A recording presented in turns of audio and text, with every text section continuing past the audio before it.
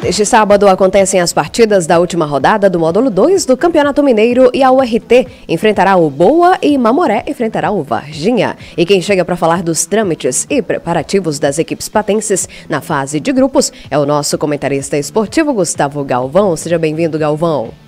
Dali Sabrina, salve, salve para você, uma excelente quarta a todos que acompanham a programação da Jovem Pampatos. Olha só, tá chegando os times da capital nacional do milho aqui no seu rádio. Muito bem, a União Recreativa dos Trabalhadores, representada pelo presidente Igor Cunha, pediu aos torcedores que mantenham um comportamento mais contido durante os jogos na Arena DB. A solicitação visa então evitar novas punições que possam afetar financeiramente o clube e até resultar na perda do mando de campo. Recentemente, a URT foi multada em R$ 4.600 devido a infrações cometidas por alguns torcedores relatadas nas súmulas dos jogos pelos juízes.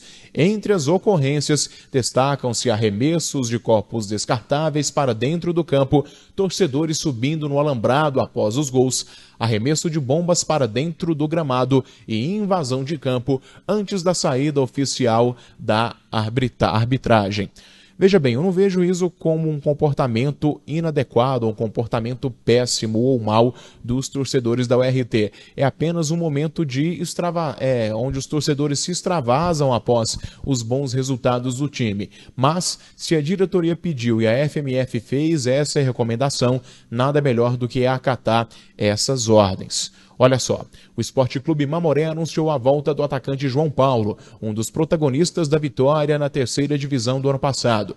O jogador de 23 anos retorna ao Sapo para fortalecer o time no triangular final do Mineiro do Módulo 2, trazendo a experiência e a habilidade que o tornaram essencial na campanha vitoriosa do ano passado. Após um período jogando pelo Vilhena, João Paulo retorna aqui para Patos de Minas com um único objetivo, que é conquistar mais um título para o Esporte Clube Mamoré. Pessoal, Imagina a festa que vai ser essa cidade de Patos de Minas se os nossos dois times conquistarem o acesso para a primeira divisão, para o módulo 1 do ano que vem. Sonhar não custa, né? Mas tem camisa, tem cacife e, acima de tudo, tem tradição para conquistar esse tão sonhado objetivo. Lembrando então que a semana é de treinamentos intensos tanto na Arena DB como também no estádio Bernardo Rubinger de Queiroz. A URT viaja para o sul de Minas, onde encara o Boa Esporte pelo último compromisso da primeira fase e o Esporte Clube Mamoré joga aqui em Patos de Minas, onde encara o Varginha.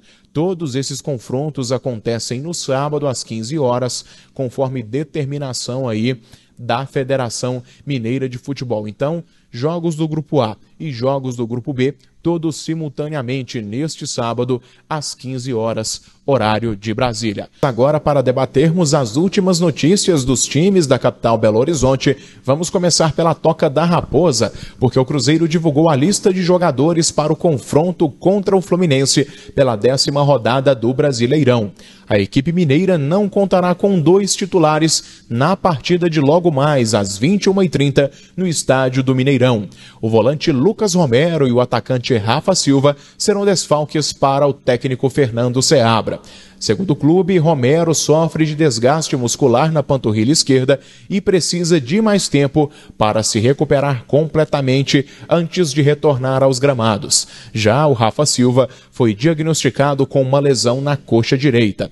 Por outro lado, dois atacantes retornam ao elenco. Rafael Bilu está de volta após um ano de recuperação de uma cirurgia no tendão de Aquiles. Arthur Gomes também retorna totalmente recuperado de um edema na coxa. Agora, saindo da Toca da Raposa, vamos para a cidade do Galo, porque o técnico Gabriel Milito recebeu uma boa notícia durante as atividades dessa terça-feira.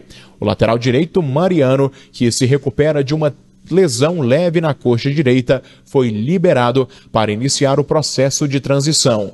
E olha só, em breve ele poderá retornar a ser uma opção para a posição, que atualmente conta apenas com o argentino Renzo Saravia, que é um velho conhecido e muito, muito querido pela torcida atleticana. Ele deve então retornar à lista no próximo domingo, dia 23, quando o Galo enfrenta o Fortaleza às 18 horas e 30 minutos na Arena MRV. Ou seja, momentos muito, muito decisivos para a vida de Galo e Raposa nessa continuidade do Campeonato Brasileiro. Muito bem, eu encerro a minha participação aqui nessa edição de hoje do Jornal da Manhã Patos e amanhã eu volto com muito, mas muito mais das últimas notícias do seu time do coração, hein? Então já sabe, precisa nem de falar, né, gente? Desliga não. Valeu, Gustavo Galvão, pelas informações e não desligue porque tem muita coisa